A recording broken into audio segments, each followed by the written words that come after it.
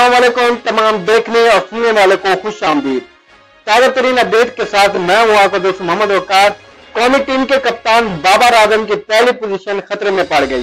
कोलंबो में श्रीलंका को 50 रन पर आउट करने वाले Mohammed Siraj ICC one day bowling ranking के चार्ट में पहले नंबर पर आ गए वनडे बैटिंग रैंकिंग में जनूबी अफ्रीका के हैंनरी क्लासन ने ऑस्ट्रेलिया के खिलाफ चौथे वनडे में एक सौ चौहत्तर रन की तबाह इनिंग्स बीस दर्जे तरक्की के बाद नौवीं पोजीशन संभाल ली है। शुमन गिल की बांग्लादेश के खिलाफ शानदार एक सौ इक्कीस रन और श्रीलंका के खिलाफ नाकाबिल शिकार सताइस रन में उन्हें कीमती पॉइंट दिलाए हैं।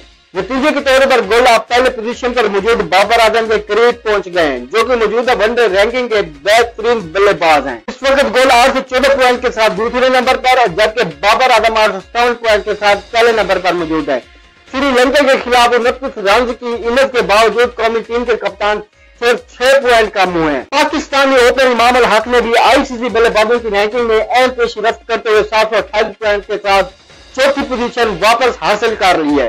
अब तक के लिए इतना ही उम्मीद करता हूँ कि आपको हमारी वीडियो पसंद आई होगी। अगर आपको हमारी वीडियो पसंद आए तो ज़्यादा से ज़्यादा लाइक करें शेयर करें। अगर आप चाहते हैं सपोर्ट के हवाले से आने वाले हर नई अपडेट आप लोगों तक पहुँचे तो हमारे चैनल को सब्सक्राइब कर दें और साथ ही लगे घंटे के निशान को दबा दें।